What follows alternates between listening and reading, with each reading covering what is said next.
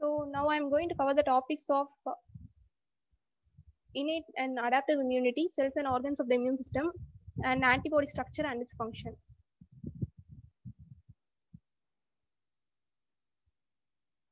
Let's have a short intro. Father of immunology, as you all know, it's Edward Jenner, who discovered vaccination for smallpox. Immunology is a study of immune system, and immunity is the resistance to disease provided by our body. It may be natural uh, resistance uh, to the foreign organisms, or it may be through acquired. And the collection of cells, tissues, and the molecules that involves uh, in the resistance of the infections is called immune system, and the coordinated reaction of these cells is called immune response. And immunotechnology is uh, an important arm of biotechnology, constituting the industrial scale application of immunologi immunological procedures to produce vaccines for mass immunization to prevent prevalent diseases and are producing immunological therapeutic agents to cure the afflicted. Let's see first the types of immunity. It is uh, innate immunity and adaptive immunity. Innate immunity is uh, the inborn immunity. Uh, when we are born itself, uh, we will be uh, having certain uh, defenses against foreign organisms that will be provided by certain organs, tissues, and the cells of the immune system. Example, skin. And adaptive immunity is, is basically acquired either by active method or passive method. In active, either natural infection occurs or uh, by providing uh, vaccination, uh, we will uh, induce the body to develop antibodies against it. And in passive, first, uh, at first when we are born, we will be breastfeeded, right? In that, uh, you, you will get certain antibodies through your mother, and that is naturally providing of antibodies. And in artificial, you will be directly uh, inoculated with uh, antibodies.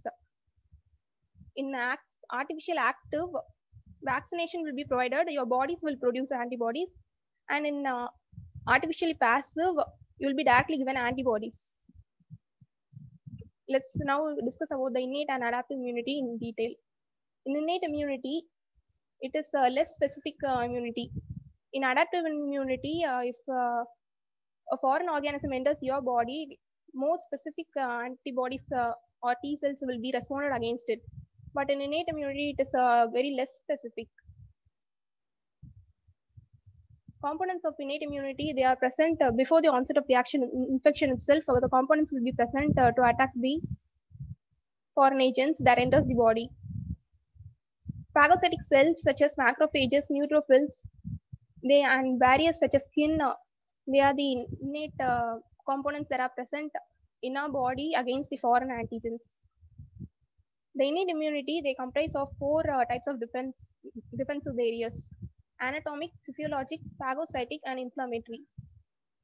In anatomic uh, barrier, two types of anatomic barriers are there. One is the skin and another is the mucous membranes. In the skin, as we all know, the outer layer is uh, epidermis it has the epithelial cells tightly packed in it. And the dermis layer, which is a thicker layer present beneath the epidermis. It is composed of connective tissues, sweat glands, sebaceous glands, and there the sebaceous glands produces sebum, which has a pH of 3 to 5. Uh, that will be uh, more difficult for a microorganism to survive at that pH. So the skin provides a natural uh, defense against that foreign organism in that area. And while we discuss about mucous membranes, they are present in the conjunctiva, that is the white part of the eye, alimentary tracts, respiratory tracts, and urogenital tracts. They are covered with mucous membranes. And they secrete saliva, tears. They all contain antiviral and antifungal, uh, antibacterial agents in them. And in the respiratory tract, uh, there will be cilia, which uh, propels the microorganisms out of the body normal flora competes with the microbes uh, for attachment sites and nutrients. There will be beneficial bacteria in our stomach, right? Uh, like that, it will be naturally comp compete with the microbes uh, that uh, reaches our stomach. And mucus entraps the foreign organisms. Next is the physiological barriers. It includes temperature, pH, and chemical mediators. Temperature. When a foreign organism gets uh, enters our body, our our temperature uh, gradually rises uh, so that uh, the microbes won't uh, survive at that. Uh, they can't survive at that temperature. It's a natural defense against the antigen. And low pH, acidity of the stomach con- stomach contents, it kills most of the injected microorganisms. And the chemical mediators include lysozyme, which is present in the tears of our eyes. It leaves the bacterial cell wall. And interferons. As we all know, when a virus uh, gets uh, enters our body, interferons uh, will be produced by the infected cells. These interferons bind to the surface of the viral cells, uh, which then um, activate signaling pathways uh, that destroys the viral virus viral cells. And this uninfected cells also will be induced to get an antiviral state in them. Then is the complement. We will discuss uh, complement system um, in detail lecture uh, in previous in uh, upcoming classes. Complement it uh, usually lyses the microorganisms uh, in several ways. Uh, one is the phagocytic, phagocytic pathway. Toll-like receptors recognize microbial molecules, signal, signal cell to secrete immunostimulatory cytokines, which further stimulates the adaptive immunity to carry out the process uh, further. Collectins, they are proteins that dis- disrupts the cell wall of the pathogens. Next is the phagocytic barriers. Specialized cells such as the monocytes in the blood they are monocytes upon reaching the tissue they will be converted into macrophages macrophages they are the big eaters they usually perform phagocytosis uh, by engulfing the organism and thus uh, digest the whole microorganisms various cells internalize uh, and breaks the foreign macromolecules some specialized cells are uh, macrophages and neutrophils then is the inflammatory barriers tissue damage and inf- infection induce uh, leakage of vascular fluid containing serum proteins uh, with antibacterial activity and influx of phagocytic cells into the affected area. Let's discuss about uh, these in pictorial representations. The mucus, uh, this is a mucociliary escalator. When you uh, when you breathe in, uh, if an organ, if a foreign uh, particle enters uh, your uh, mucosal surf- surface uh, through your respiratory tract, these are the serial uh, projections uh, along the lining of the airway, which uh, which usually produces an upward movement uh, that causes the foreign microbe to the foreign microbe gets trapped in the mucus layer and the cilia pushes them out. And in the eye, you have a lysozyme enzyme, which um, destroys the bacterial cell wall. And the oily and the waxy secretions of uh, your ears, it contains sebaceous glands uh, that has a pH of uh, 3 to 5, which usually uh, in that uh, pH, uh, most microbes don't survive. And in your um, in your mouth, the amylase enzymes and the digestive enzymes are present in your saliva. They contain antibacterial and antiviral substances in them uh, that uh, the microbes are entered. And in the skin, uh, you usually have uh, the sweat glands and sebaceous glands. They both have antimicrobial properties uh, against the foreign antigen. And in the stomach, uh, as we all know, they contain gastric juices in them. And with this low pH, none of the organism will survive in it. And the phagocytic barrier. When the phagocytic cells uh, when the phagocytic cells um, encounter encounters an antigen, it produces uh, protrusions uh, which engulfs the bacteria.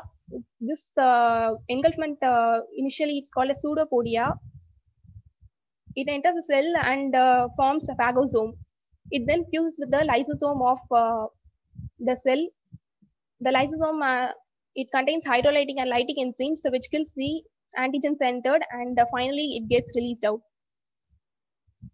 this phagocytosis uh, comes under the endocytic cytotic barriers.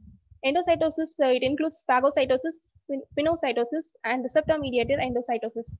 In phagocytosis, solid particles gets engulfed and further uh, it gets treated by the lysosome, ly lytic enzymes of the lysosome and gets uh, destroyed. In pinocytosis, note this, the pinocytosis, uh, it uh, engulfs uh, fluid particles. In the phagocytosis, it engulfs solid particles. In pinocytosis, it engulfs the extracellular fluid present outside that carries the foreign antigens in them. It gets, gets engulfed and uh, further processed as, as of uh, phag phagocytosis. In receptor-mediated endocytosis, the cells will have receptors in them in which uh, the foreign uh, antigen binds and the same process as of uh, phagocytosis. And in inflammation, uh, if, uh, if our tissue gets damaged uh, by any material and it creates a wound, right, it causes the entry of pathogens along with them. And we get redness, pain, heat generation, swelling. These are all the inflammatory responses. It causes vasodilation, which means the increase in the diameter of the blood vessels as the vessels that carry blood away from the blood area constricts. This is the blood uh, capillaries uh, through which the blood is flowing. Once the tissue is damaged, uh, it recruits all the um, macrophages, neutrophils uh, into that area. See, tissue damage causes a release of va vasoactive and chemotactic factors. These causes uh, the blood capillaries to constrict. And uh, the capillary permeability will increase. This is the blood capillaries through which blood flows. The vasoactive and chemotactic factors, they trigger uh, the capillary permeability, which causes uh, the entry of the macrophages in them. Macrophage entry first uh, margination occurs that is the adherence of the macrophages to the capillary capillary walls next step is the extravasation or diapedesis that is uh, it uh, just emigrates away from the capillaries into the tissues. Next migration through the tissue to the site of infection through chemotaxis. Chemotaxis is nothing but upon the chemotactic factors it gets uh, entry to that site with the signaling of the chem chemical signals that is being provided that the tissue is being damaged. And the phagocytes and uh, the antibacterial exudates uh, that enters through this from the capillary, blood capillary to the tissue that gets accumulated and release lytic enzymes and damages the cells. Thus, it forms pus. Pus is nothing but it's a collection of the, all the macrophages, neutrophils, and all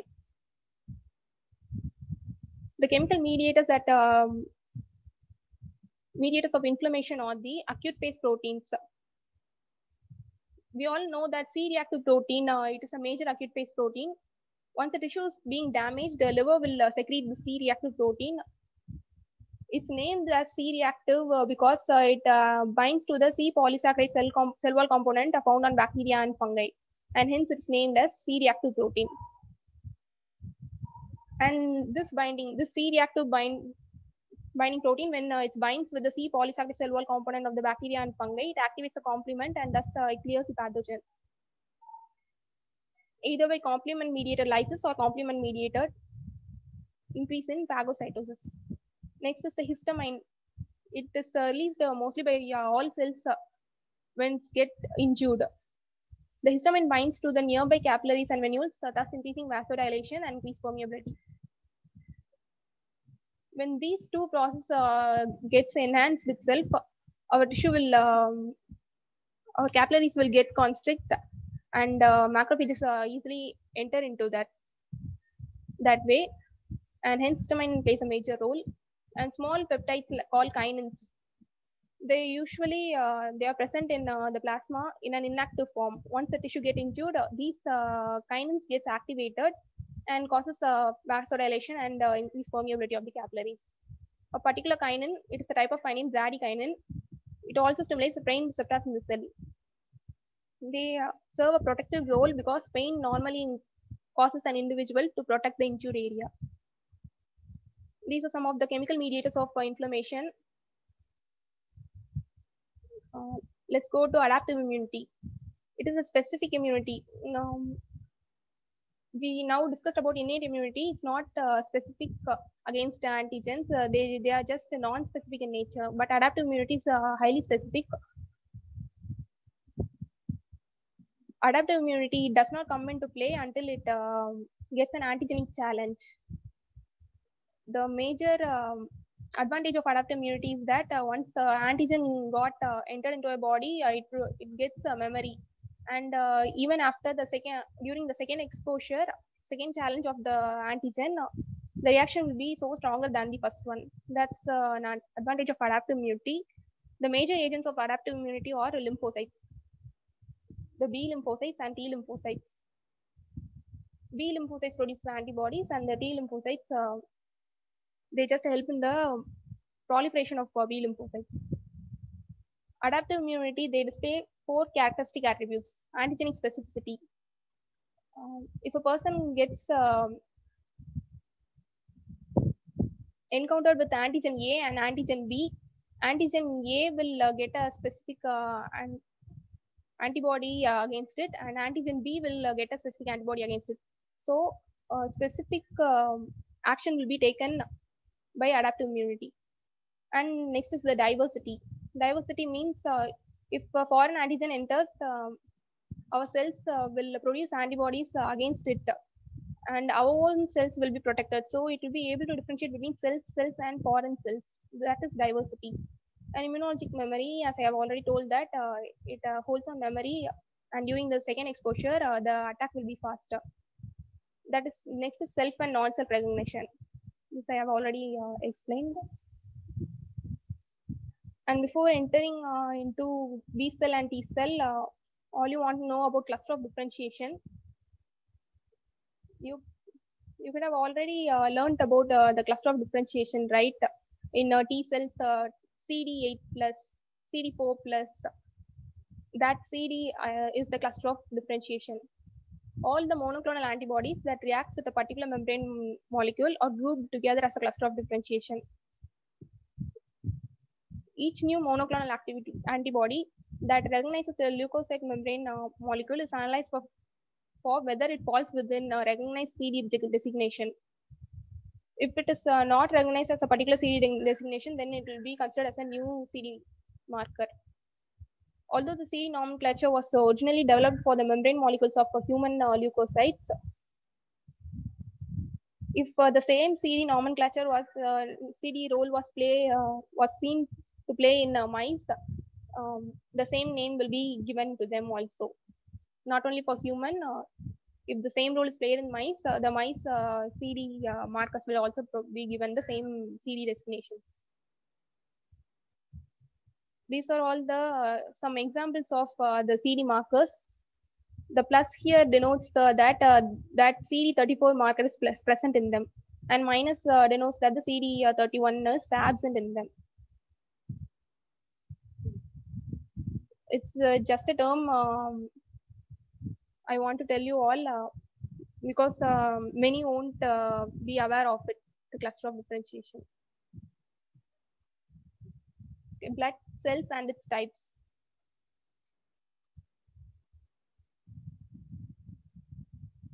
WBCs, RBCs, and platelets.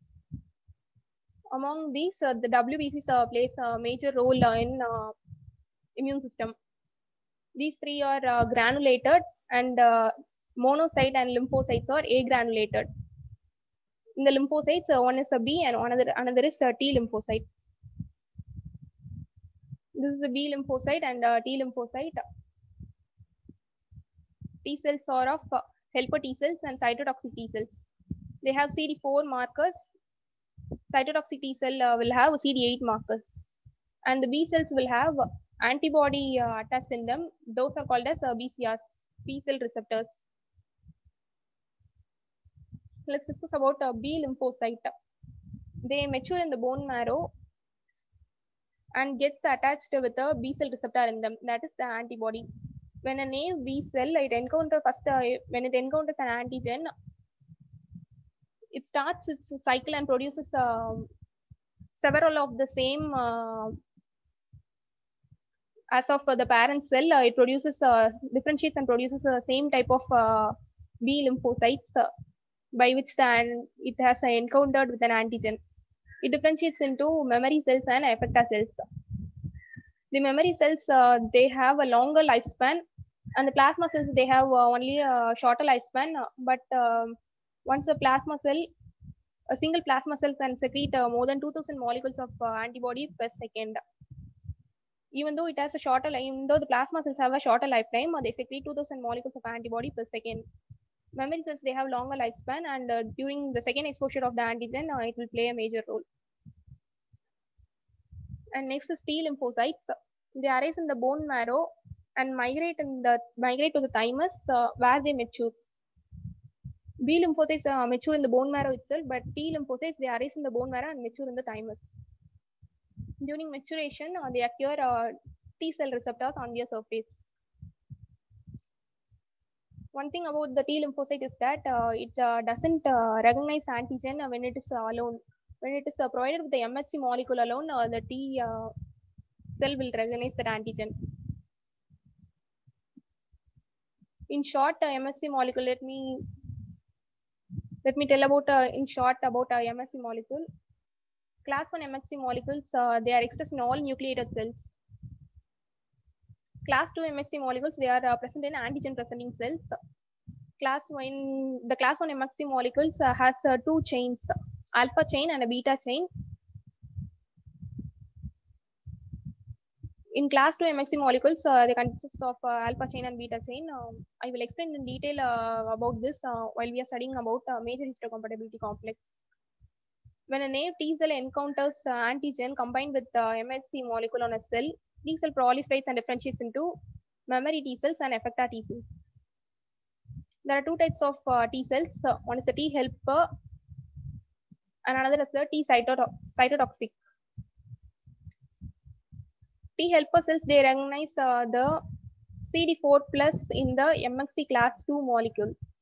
And the cytotoxic T, T cells, uh, they recognize uh, CD8 plus on uh, MHC class 1 molecule once a T cell recognizes and interacts with the antigen MHC class 2 molecule, the cell is activated and becomes uh, an effector that secretes various growth factors, collectively known as cytokines. These secreted cytokines activate the B cell, T cell, TC cells, macrophages, and other cells that participates in the immune response. When cytotoxic uh, under the influence of the TH, these uh, helper cells secreted cytokines, right, that will activate the TC cells once the TC cell uh, that recognizes uh, anti antigen MHC uh, class 2 molecule complex, uh, it differentiates into uh, cytotoxic T lymphocytes. They generally won't secrete many cytokines.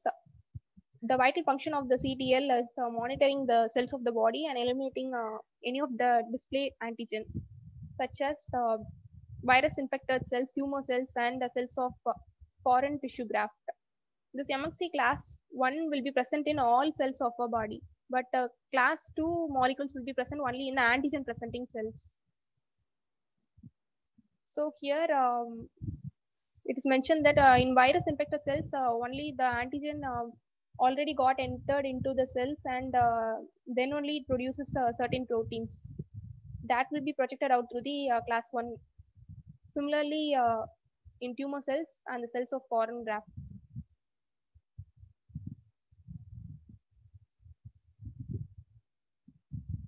the changes, uh, the TH cells uh, produce cytokines, right? Uh, in the previous slide I have mentioned. Based on the type of cytokine it is produced, a type TH1 response will be generated or TH2 response will be generated. When TH1 response uh, got um, activated, it supports inflammation and activates um, T cells and macrophages. When TH2 response activates, uh, it, response generated, it activates uh, B cells and immune responses in another subpopulation was also found. It is a T, T suppressor cells. It is clear that T cells help to suppress the humoral and cell-mediated immune branches. But so, but it is in a controversy and dispute among uh, immunologists. Uh, what's the role of uh, the T suppressor cells? Some immunologists believe that the suppression uh, mediated by uh, T cells observed in some systems is simply the consequence of activities of uh, TH and uh, TC subpopulations whose end results are uh, suppressive. The major function of T suppressor cells uh, was um, not uh, clear uh, still now. This is the diagrammatic representation of uh, the virus infected cell, uh, which is uh, the class 1 presenting cell, and it is antigen presenting cell. Uh, it has uh, both class 1 MHC molecule as well as the class 2 MHC molecule. See, the mm, MHC class 1 gets interacts only with the TC cell, and the MHC class 2 gets interacts with only with the helper cells.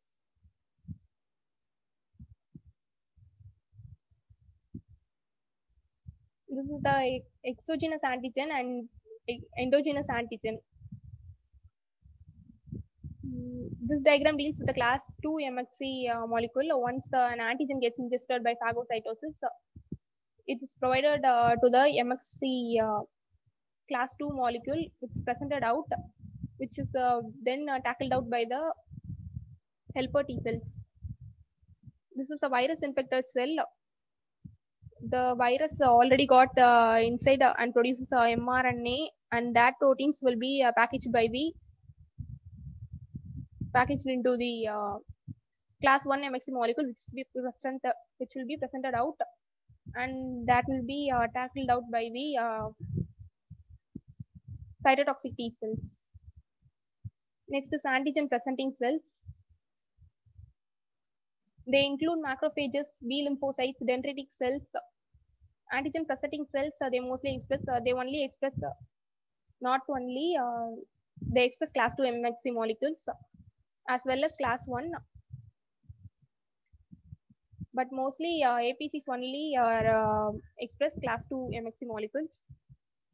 They are able to deliver a co-stimulatory signal that is necessary for a TH cell activation. Not only the class 1 uh, MHC molecules is an important presentation, along with it, a co-stimulatory uh, signal is also needed.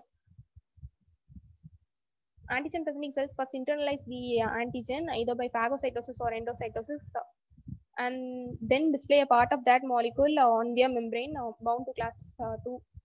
This we have discussed upon a presentation with the class 2 MHC molecule, the TH cells recognizes and interacts with the antigen uh, class 2 MHC molecule complex on the membrane of the antigen presenting cell.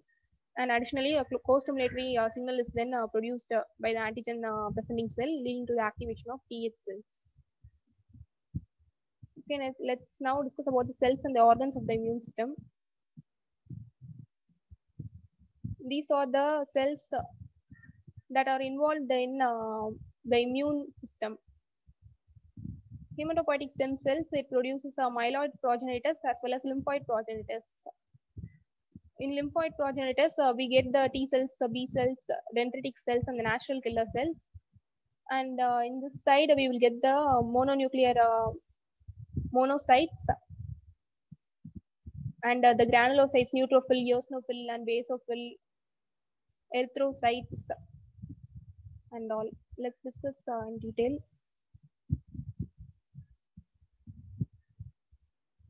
Lymphoid cells, it includes the B lymphocytes and uh, T lymphocytes. We have already discussed about uh, the B lymphocyte and T lymphocyte already. Uh, next is the NK cells, that is the natural killer cells. Okay, what are null cells? They are third population of cells. They are actually present in uh, smaller fractions in the blood. They are of neither T cells nor B cells. The null cell lack immunologic memory and specificity. T cells and B cells, they produce uh, memory cells uh, which uh, have immunologic memory and specificity, right? But null cells, they lack uh, them, uh, lack these two. Members of null cells include uh, NK cells, killer cells or antibody dependent cytotoxic cells, and lymphokine activated killer cells. Let's discuss about natural killer cells. They are usually null cells with surface markers uh, CD16 which bind to the Fc portion of the IgG and thereby it destroys it.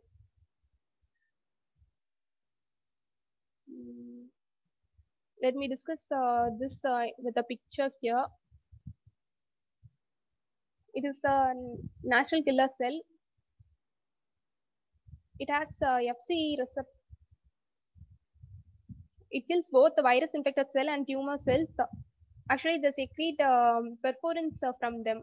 NK cells secretes perforins, perforin molecules against target cells, uh, which punches holes in the tumor cells as well as virus infected cells, and that leads to apoptosis of the target cell. This is the process. Uh, it's an NK cell. Uh, it uh, recognizes and uh, binds to the abnormal uh, cell, whether it may be a virus infected or tumor infected cell. And the Golgi apparatus, uh, it just uh, aligns uh, along that does the portion and it secretes perforins. And that perforins, uh, it just creates, creates uh, holes in the abnormal cell that causes the release of uh, every component in the cell and thus it leads to the lysis of the abnormal cell. Next is the KIR and KAR receptors on the NK cells. Actually, actually NK cells have two receptors in them, the KIR and KAR. KIR is killer inhibition receptors and KAR is the killer activation receptors. KAR receptor, it activates uh, the killing of the cells and KIR receptor, it inhibits the activation of the NK cells. The KAR receptor, which is present in the NK cell, it just recognizes the MICA and MICB molecules that are expressed uh, by a stress. When, when a cell gets stressed, it expresses these two receptors in them. The KAR receptor uh, recognizes uh, these two and uh, triggers uh, the NK cells to kill that cells. The KIR, it is uh, it actually inhibits the killing of the target cells. How it inhibits means uh, it monitors the MHC1 molecules uh, present in uh, tumors, tumor cells and virus infected cells. Actually, when a cell uh, get infected with a virus or a tumor cell, um, it makes the cells uh, to decrease uh, the expression of uh, MHC1 in it. So, um, when when a natural killer cell recognizes um, the MHC1 molecule, uh, MHC1 molecule will be present in every cells in our body.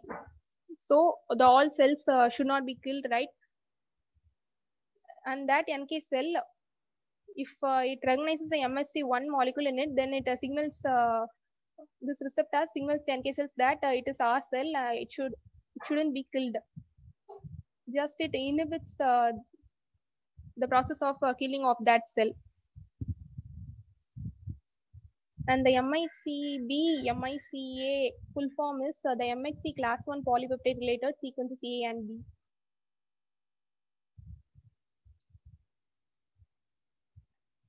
In this slide, I, uh, the interleukin, uh, I have mentioned about in the interleukin. The interleukin, uh, they are um, cytokine molecules uh, which need for the NK cells to be activated the interleukin 15 uh, potentially promotes uh, the NK cells development and uh, interleukin 2 maintains NK cells survival. Next is the LAK cells, lymphokine activated killer cells. Lymphokine, it is a cytokine that is being secreted by a lymphocyte. That's a lymphokine. It is a white blood cell that has been stimulated to kill tumor cells if lymphocytes are cultured in the presence of interleukin 2, interleukin 2, I have already mentioned that interleukin 2 is uh, necessary for the maintaining the NK cell survival. If uh, lymphocytes are cultured in the presence of uh, interleukin 2, it uh, results in the development of effector cells, uh, which are cytotoxic to the tumor cells. The lymphocytes or lymphokine activated killer cells also uh, exhibit a um, inhibitory role of role to the tumor cells. It kills the tumor cells. LAK cells respond to these uh, lymphokines, so particularly uh, interleukin 2 by lysing the, it lyses the tumor cells and it won't uh, show activity against uh, normal cells. Next is it is the role of uh, killer cells uh, in uh, ADCC. Actually, natural killer cells will have FC receptors in them once a tumor cell is being detected and it is bound by an antibody, uh, this portion, right, it will be it is an FC, the constant uh, fragment region. All know that antibody has uh, FAB, that means uh, antibody antibody binding site, and the FC region, constant fragment region. This portion is the FC region, and these are the FC receptors. Once these two gets uh, bounded, uh, the NK cells uh, then it results shows its activity by producing perforin pro perforins uh, granzymes that kills the tumor cells. This is the antibody dependent cell mediated cytotoxicity because it is dependent depending on the antibody in it. Then lyses the cells. That is cytotoxicity. White blood cells. I have already uh, told that uh, white blood cells uh, they may be granulated or agranulated. Granulated cells uh, they are neutrophils, eosinophils, and basophils. These three will have granules present in them shown here, right? And agranulocytes are monocytes and the lymphocytes. Lymphocytes, uh, they include uh, both B lymphocytes and T lymphocytes. Monocytes, they undergo phagocytosis.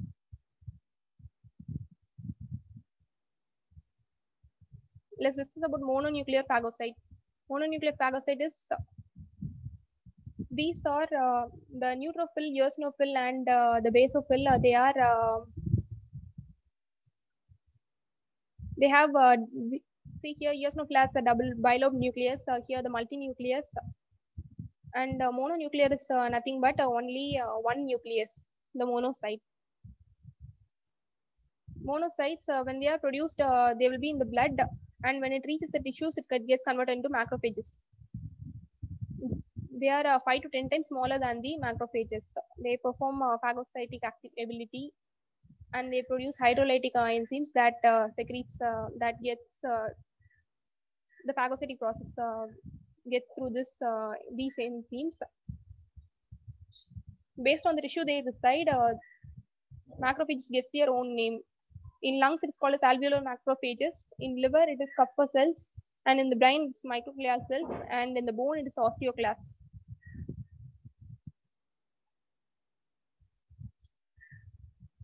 antigen presenting uh, capacity uh, will be through uh, MHC class 2.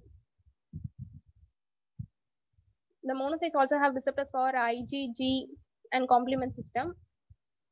Macrophages causes inflammation through the production of these cytokines, interleukin 1, interleukin 6, and TNF alpha. Their main role is to remove the antigens from the body. They are long lived for uh, months to years horseshoe shaped nucleus uh, present in the in them and they have well developed Golgi complexes and lysosomes in them. This is the process. Uh, this is the monocyte which gets converted into macrophages uh, when it enters the tissues. Many monocytes uh, leaves the bloodstream after 20 to 40 hours to travel to the tissues and uh, gets converted into macrophages.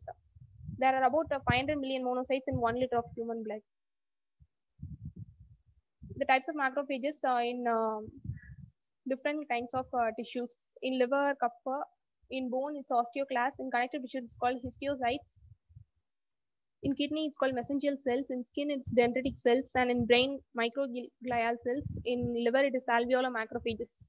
Macrophages, it acts both for, uh, it has a bifunctional role. Uh, It, is um, helpful in antigen presenting as well as in phagocytosis just try to remember all these uh, it may be asked uh, in competitive exams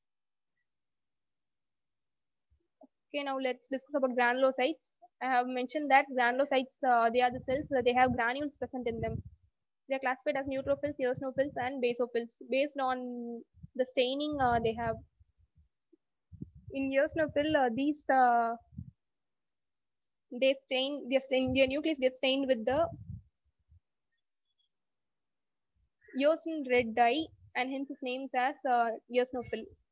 Basophil stains with uh, methylene blue and hence it's named as basophil. Neutrophil, they won't stain with either acid or base and hence it's uh, named as uh, neutrophil. They only have a multi-lobe nucleus hence it's uh, mostly called as polymorphonuclear leukocyte. Both neutrophil and eosinophil are uh, phagocytic but uh, basophils are not.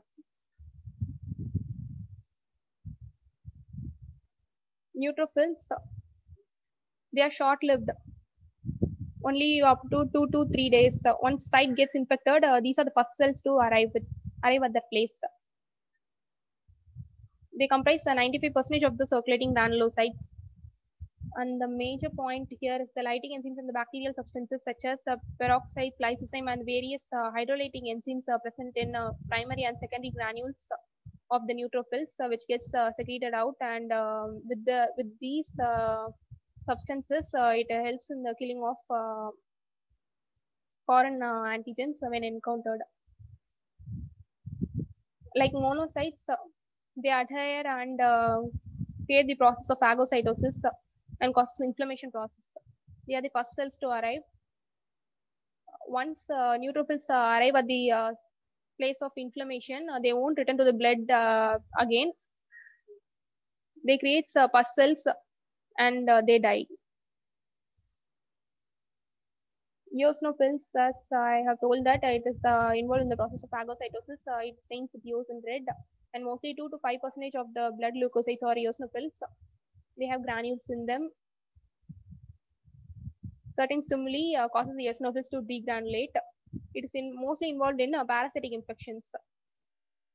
The cytotoxic uh, substances such as uh, eosinophil cationic protein and eosinophil peroxidase helps the eosinophils to kill uh, helminths, parasitic infections. Eosinophils also release histaminases and uh, aryl sulfatase, which inactivates uh, the mast cell products. Example, histamine. Uh, we will, uh, I, I will explain the histamine process uh, detail in uh, hypersensitivity while I am teaching hypersensitivity. Next is the basophils. They won't uh, stain with the both uh, as they stains with uh, methylene blue. Neutrophils only stain doesn't stain with uh, both acid and base. Basophil they uh, circulate in the body about uh, 0.01 percentage to 0.3 percentage of the uh, circulating uh, granulocytes or basophils. They are bound with they have membrane bound uh, granules. While they degranulate, uh, they release histamine, proteoglycans, and proteolytic enzymes. They also secrete uh, these mediators. They are highly uh, involved. Uh, these when um, when these are get secreted, histamine uh, containing cells are involved in hypersensitivity reactions. Basophils they bear Fc receptors for IgE. When an uh, individual is exposed to an allergen, the allergen uh, specific IgE is produced.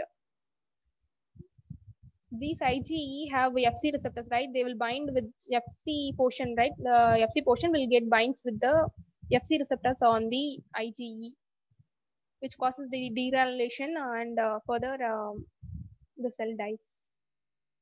Mast cells and basophils both uh, have uh, same uh, work under progress. The only difference is the basophil leaves the bone marrow already matured, whereas mast cell circulates in an immature form, only maturing uh, once in a tissue site. They don't differentiate until leaving the blood vessels and enter the tissue. In other ways, uh, mast cells, uh, they perform the same role uh, performed by uh, the basophils. They secrete histamine and they are involved in uh, cross-linking of the allergen uh, and uh, the hypersensitivity process. See here, it is uh, the process uh, that makes by uh, mast cells and uh, basophils. This is the mast cell and it is they, they are the granules present in them. It is its nucleus and they have Fc receptors in them. The IgE uh, Fc portion binds with this Fc receptor. Once an allergen reaches and uh, cross-links uh, and binds like this, uh, the granules get released and causes uh, severe allergic reactions such as uh, rashes, asthma, etc. Next is the dendritic cell. It is an antigen presenting cell. Long membrane extensions that uh, resemble the dendrites of the nerve cells. You all know the nerve cells, right? It has uh, dendrites in them, uh, just like a project projecting out. Like that, uh, the cell will have, and hence it's uh, named as the dendritic cell. It will be difficult to isolate because uh, the projections uh, from this cell um, will uh, will break when we isolate when we try to isolate it. It expresses both MHC class 1 and class 2 molecules. I have told right uh, the antigen presenting cells will um, express both MHC1 and MHC2 as they are uh, nucleated cells as well as antigen presenting cells. Nucleated cells expresses MHC class 1 and antigen presenting cells expresses class 2. Both are uh, present in this cell, in both nucleated and it is an APC cell and hence uh, both the classes will be um, expressed uh, in this cell. Four types of dendritic cells. Dendritic cells, um, not it's can't say it's a type. When it is found in the skin, it is called as uh, the name only differs, but the role of the dendritic cells remains the same. In skin, it is called as Langerhans cells. In heart, lung, liver, intestine, uh, if there uh, the dendritic cell is present, it is interstitial uh, dendritic cells, myeloid dendritic cells, and lymphoid dendritic cells. This is the developmental pathway of dendritic cells. In the myeloid progenitor, uh, we get Langerhans interstitial uh, myeloid, and uh, in the lymphoid progenitor, we get lymphoid dendritic cells let's move to the organs of the immune system. These are the major organs uh, present uh, in our uh, body. Um, they are of two types. one is the primary lymphoid organs and second is the secondary lymphoid organs. In primary lymphoid organs, just the, the lymphocytes gets matured. In the secondary lymphoid organs only, the matured lymphocytes and the lymphocytes and the antigen gets interacted interacts with the antigen. Primary lymphoid organs uh, includes uh, thymus and uh, bone marrow. Let's first see about thymus. Thymus, it is a bilobed organ located above heart. Here in this picture, it will be seen above heart, it will be presented, the thymus. It is a bilobed organ and it is each uh, lobe bilobe that means it has uh, two lobes. Each lobe will be covered by a capsule divided into lobules. The lobules uh, they are um, divided by the trabeculae which means it is a connective tissue that divides the capsules into lobules.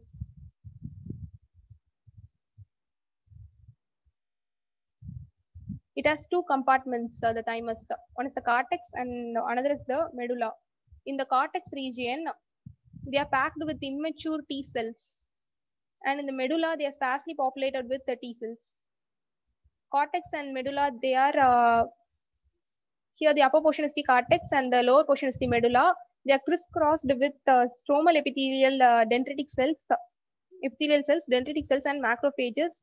These cells uh, interact with the immature uh, thymocytes and make them mature. That's the role of them and the cortex in the cortex region uh, we are seeing here right it's a nurse cell. It's named nurse cell.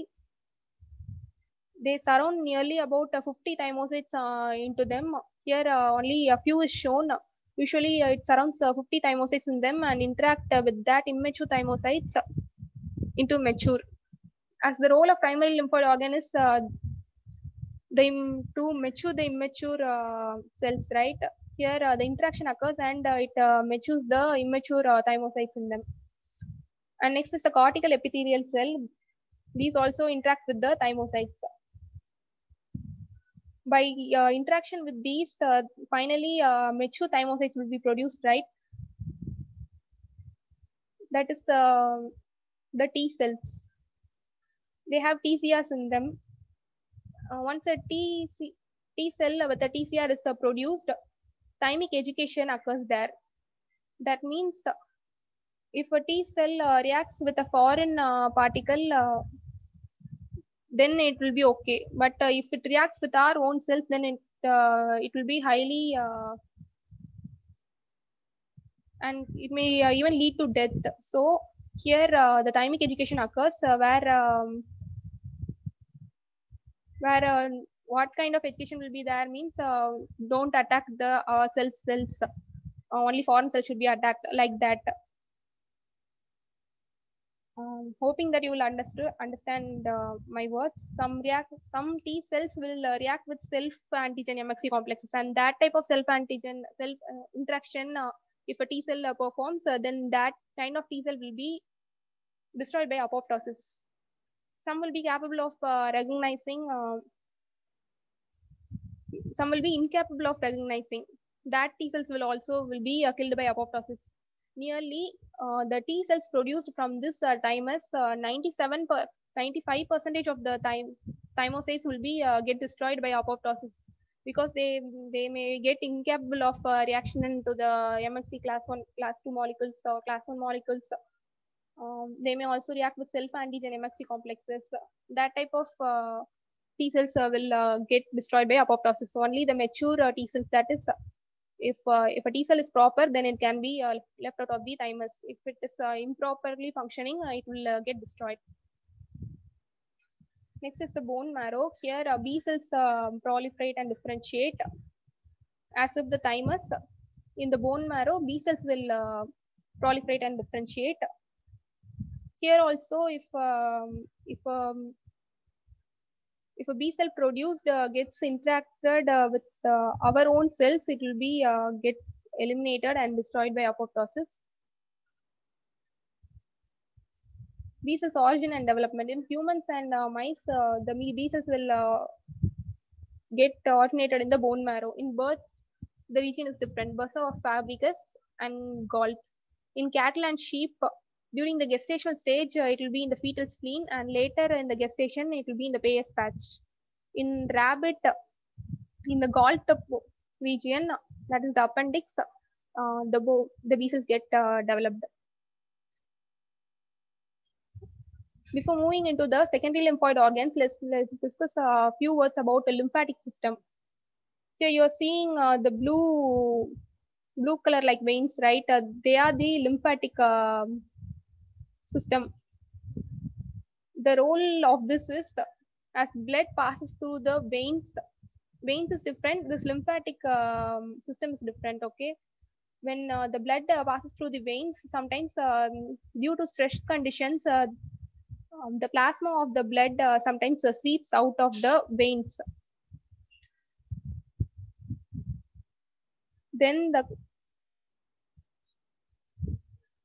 they will be um, circulated again into the into the veins.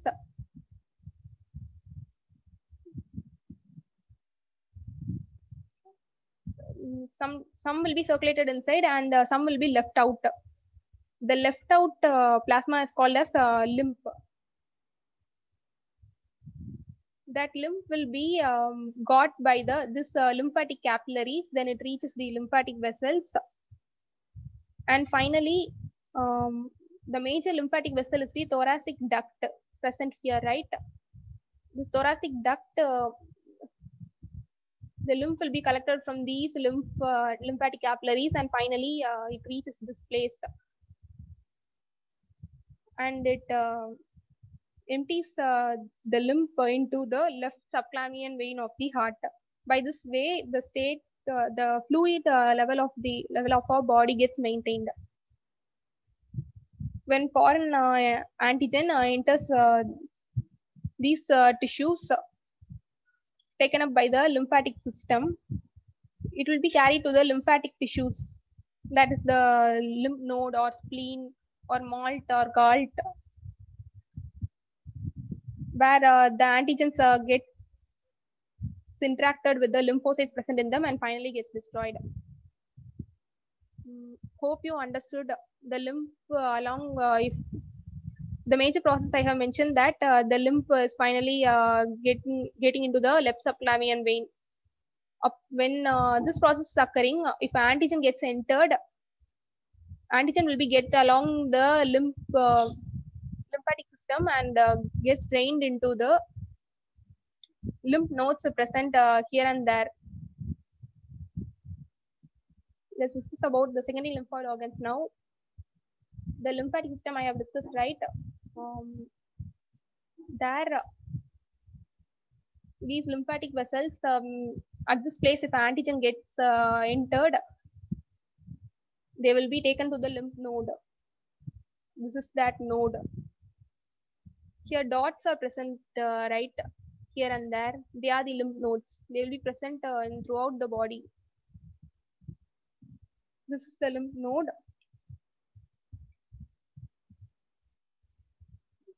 They have a cortex region, paracortex region, and a medulla region.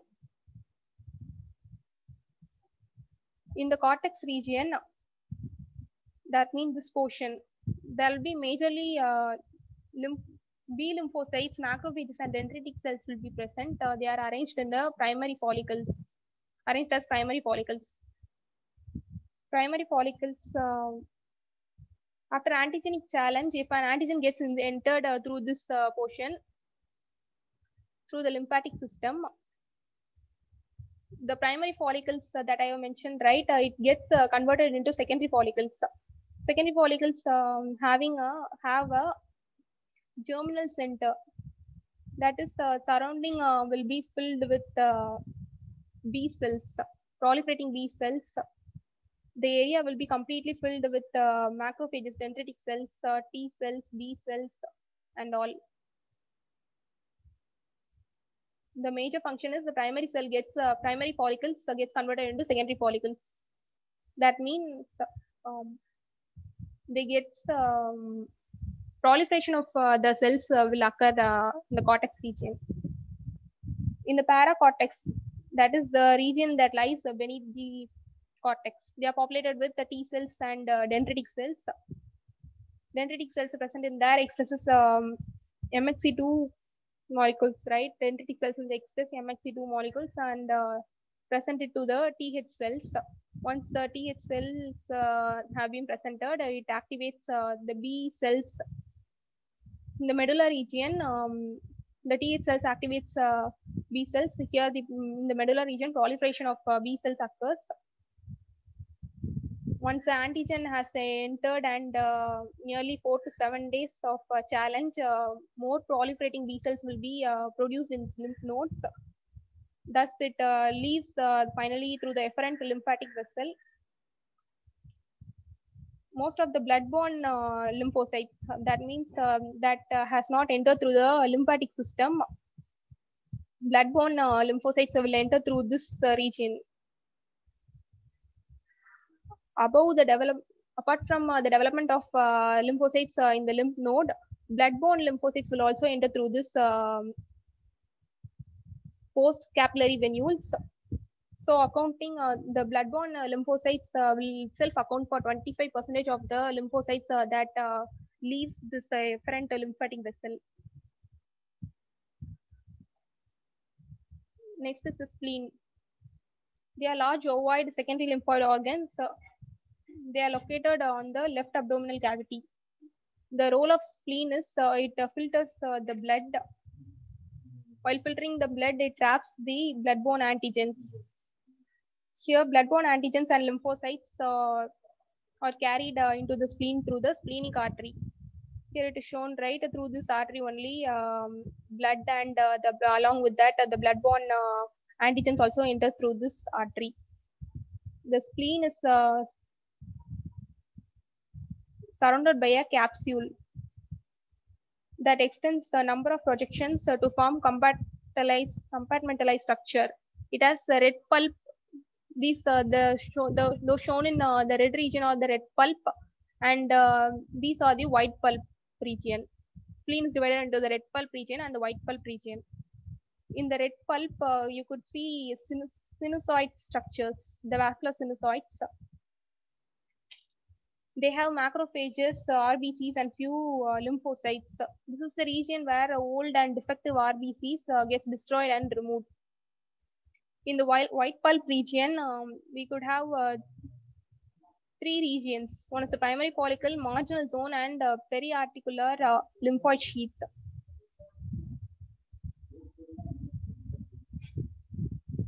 This white pulp surrounds the splenic artery. This is the artery, right? The white pulp region just surrounds the splenic artery. There lies the pulse, periarteriolar lymphoid sheath it has uh, T cells in it. Primary lymphoid uh, follicles are attached to the pulse. This primary lymphoid follicles, they are rich in B cells and has germinal centers. Next is the marginal zone. It is located peripheral to the pulse. They are highly populated with uh, lymphocytes and macrophages. Antigens and lymphocytes, upon entry uh, through this splenic artery, they empties into the first into the marginal zone. Here only uh, the antigen and the lymphocytes uh, will enter, and uh, the antigen uh, is trapped by uh, interdigitating um, dendritic cells, which carry it to the pulse. Upon reaching the marginal zone, it then enters the um, periarteriolar lymphoid sheath. This region it will be in, entered. Lymphocytes also enter through this uh, sinusoids also. Finally, it reaches the um, periarteriolar lymphoid uh, sheath region. Here, the B cells and the T cells gets activated, and uh, dendritic cells uh, present in them um, will uh, produce MHC molecules, um, will express MHC molecules, which is recognized by the TH cells, and the process goes on. Uh, and finally, it activates more of B cells, which uh, encounters the uh, antigens uh, that have entered through the splenic artery.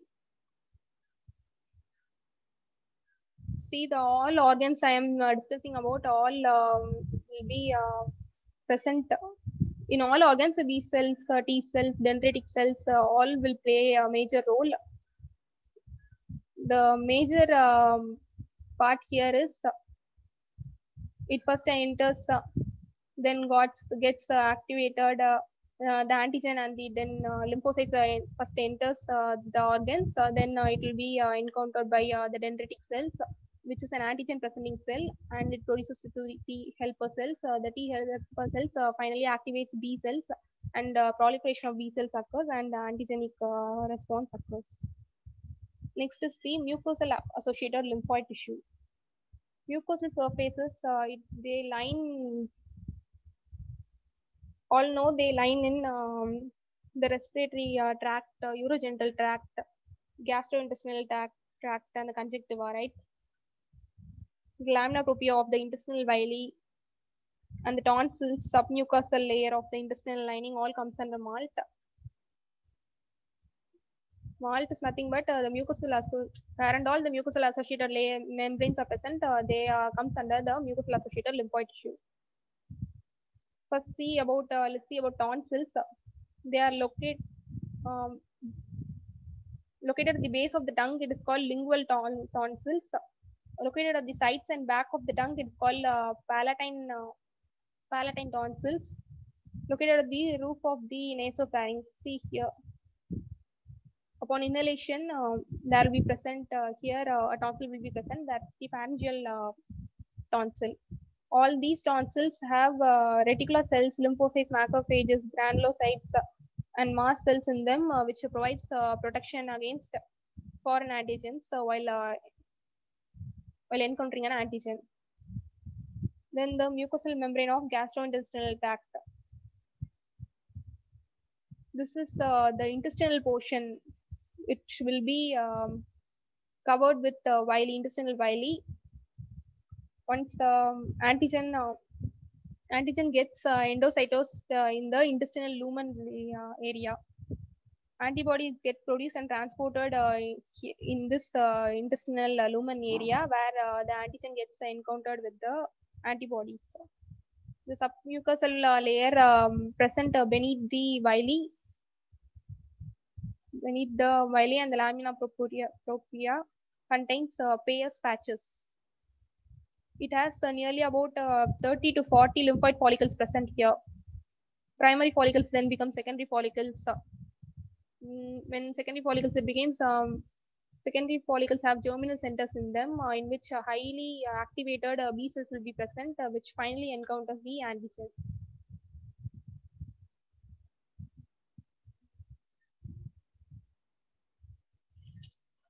Next is the the outer mucosal uh, epithelial uh, layer has uh, intraepithelial uh, lymphocytes uh, in them.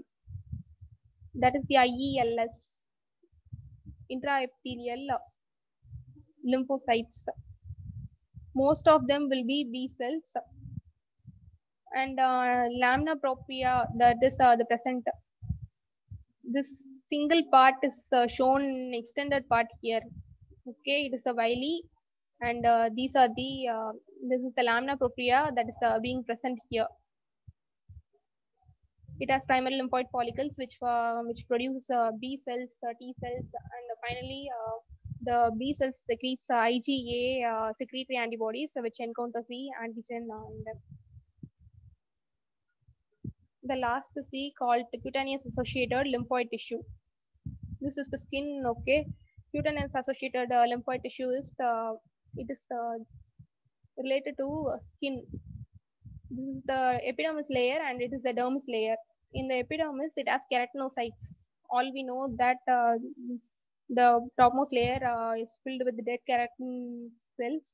They secrete uh, cytokines that induces inflammatory response. They can also be induced to express class 2 MHC molecules in them, which then encounters with the T4 cells, T helper cells another uh, cell, Langerhans cells also uh, present in the epidermis region, which is involved in phagocytosis. In the intra, another cell is the intraepidermal lymphocyte. Mostly uh, these lymphocytes will be of uh, T cells. Next, in the dermis region, you will have um, T cells. Uh, it can be a helper T cell or cytotoxic T cell, uh, macrophages, and are also present. Most of the T cells here are uh, previously activated and they are uh, memory cells here present. Next is antibody structure and function. All we know that antibody structure, uh, know about antibody structure, it has two heavy chains and two light chains in them. The two light chains are uh, the molecular weight are uh, provided here. Light chains will have a molecular weight of uh, 25,000 and heavy chains will have a molecular weight of 50,000 each light chain is bound to heavy chain, right? Uh, with the disulfide bonds and heavy chain also is uh, bonded with each other.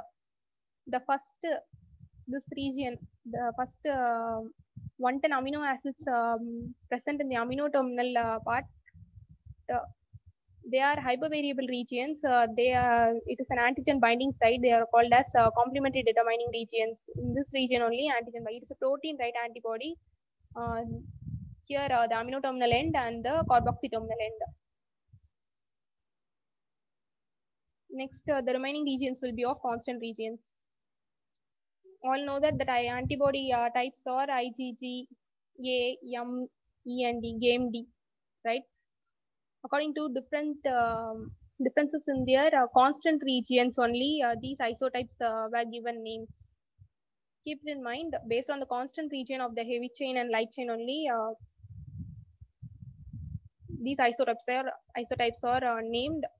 Let's see uh, then um, next uh, upcoming slides.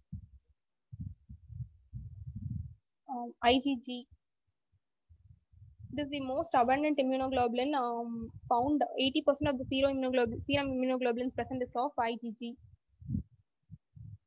they have four subclasses IgG1, 2, 3, and 4 based on decreasing serum concentration, which means that if I take IgG1, it will be highly present uh, in the serum.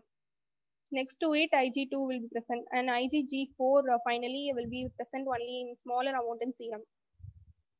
Next, IG1, 3, and 4 they cross placenta. IG3 they are the most effective complement activators. IG1 and 3, they have high affinity for FCR on phagocytic cells. They are good for opsonization. Next is IgA. All know that uh, it is a secretory antibody. It makes up 10% uh, uh, to 15% of the total immunoglobulin in the serum. They are found in almost all secretions of our body, breast milk, saliva, tears, mucus, every in each and every secretions IgA will be present they exist primarily as a monomer, but uh, during secretion, uh, they will be uh, excreted only as a dimer or a trimer. See here is the dimer uh, IgA. It will be connected uh, by uh, secretory component. This maroon region is the secretory component, and this is the J chain. J chain is the role of J chain is the polymerization. Polymerization means not only polymerizing means one IgA getting attached with another IgA like that. It also it can also join uh, uh, another uh, IgA and form a trimer. This is a dimer. The IgA uh, secreting plasmacytes they are um, mostly uh, found in the mucous membrane surfaces.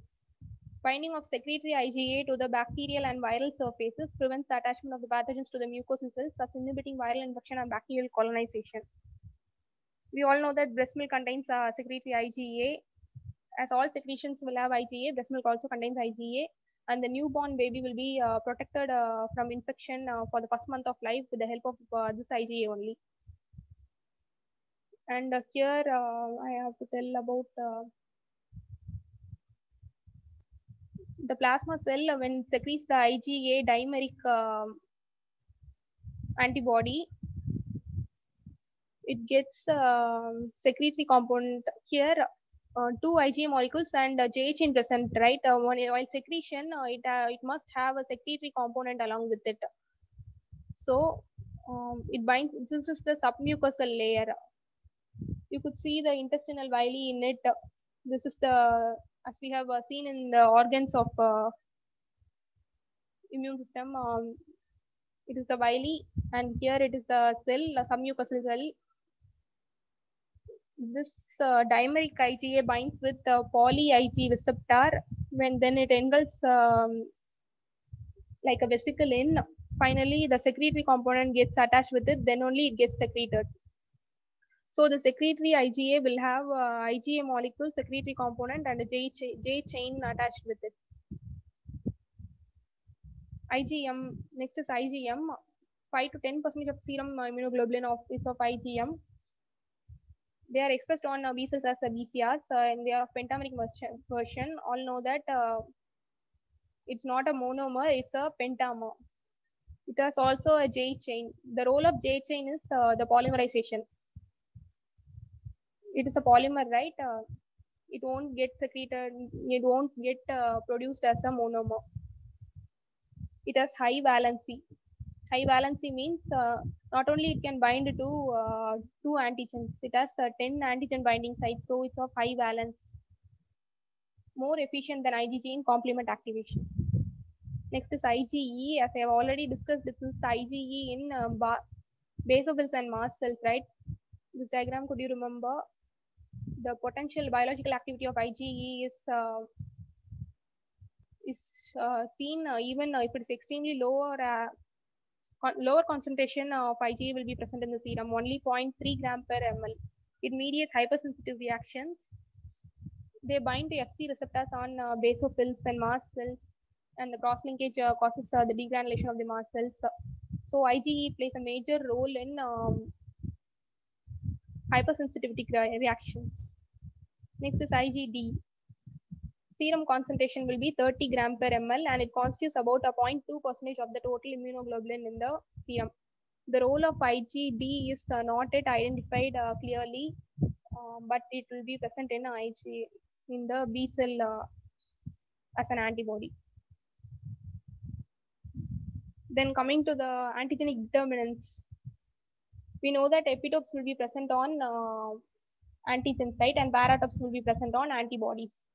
But uh, if I take my uh, immunoglobulin, that is, uh, if I take my antibody and give it to any one of you, my antibody will be treated as a foreign by your body.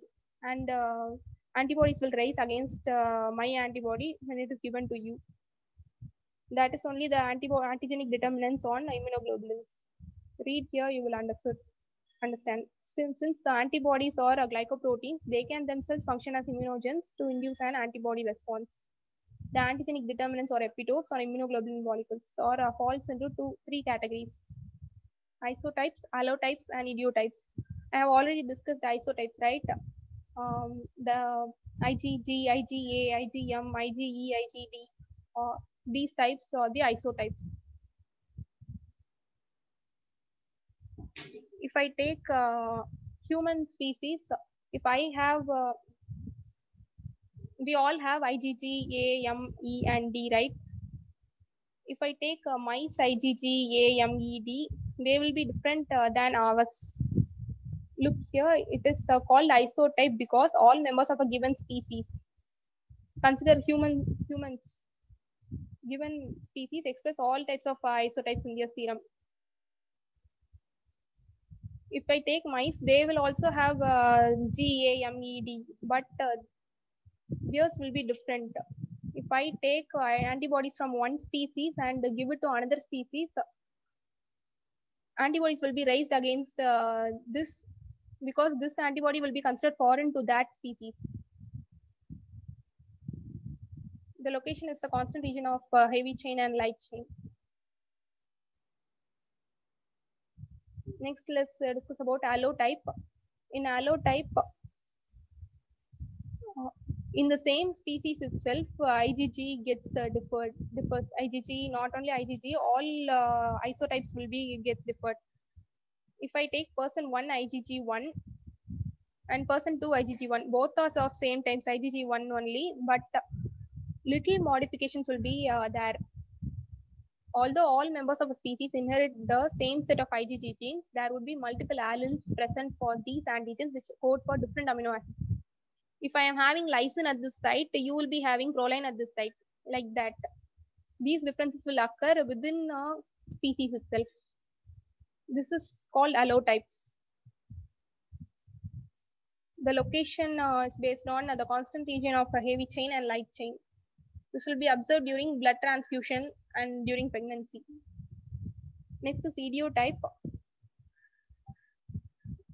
In our own body itself, if I am encountered with uh, two types of antigen, antigen A and antigen B, both will be of IgG1 only, but uh, that will be itself uh, different. This IG1 will be against antigen A and this IG1 will be against antigen B. In same individual itself, the IgG1 molecule gets differed. I'm just mentioning about IgG1 here, but all types will be get differed.